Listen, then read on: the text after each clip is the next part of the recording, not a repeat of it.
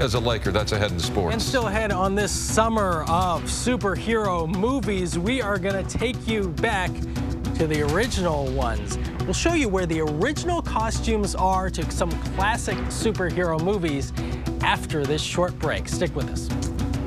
Uh, loved that. Okay, Chris, you.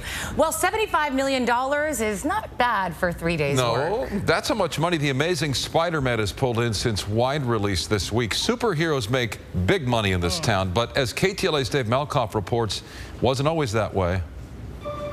My name is uh, Joe Maddalena. I own Profiles in History. We're an auction company based in Calabasas, California. Take a walk through this classic superhero archive. Jor-El wears this costume. I silent. And you'll see a major shift in Hollywood. It's reflective duct tape. This It's- is made of tape. Yeah, reflective duct tape. It's the illusion of Hollywood. I mean, And I tell you that we must evacuate this planet immediately. basically, a bunch of geeks read comic books. I read comic books when I was a kid, and we were not the coolest people in the world. We really saw the shift with the Tim Burton Batman movies. So The Dark Knight's going to do pretty well. I would think billion dollars. There you go. I mean, it's going to do a gigantic number. And it comes back to Michael Keaton right here. Yeah, you know, Michael Keaton, when they first made the first Batman film, did a very good job. Wouldn't get a guy with glasses on, would you? Huh? Box Office Mojo says the film made $400 million worldwide. Pretty good for 1989.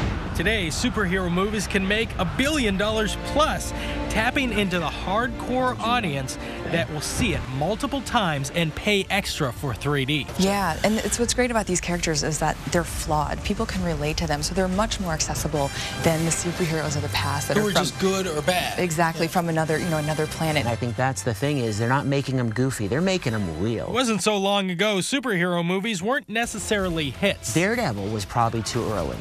You know, it wasn't. Elektra was probably too early in the curve. Think about it. Those movies did not do well. They have not made a good Hulk movie yet. They've yet to do that. And you're seeing what the fans were in the new Avengers movie, they love the Hulk because they finally are doing the Hulk that's in the comic book. Hulk, smash.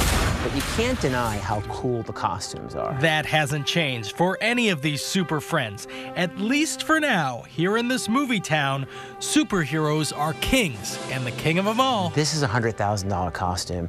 This is an important suit, you know, worn by Christopher Reeve in the first and second film. Man of Steel comes out summer 2013, and for that movie, they've completely retooled what was Christopher Reeve's original outfit. But you can get your piece of those classic superhero movies at the auction. We will link you to all that information at ktla.com slash Dave. But for now, from Calabasas, I'm Dave Malkoff, KTLA 5 News. And we say goodbye to our friend Dave Malkoff, who's off to bigger and better things. Oh, I know. We're going to miss him. Yeah. Yes, we Congratulations. to- National correspondent for the Weather Channel, so you'll see him if you check him out. Absolutely. Good He is stuff. big time for Yeah. sure. Mm-hmm. Also big time.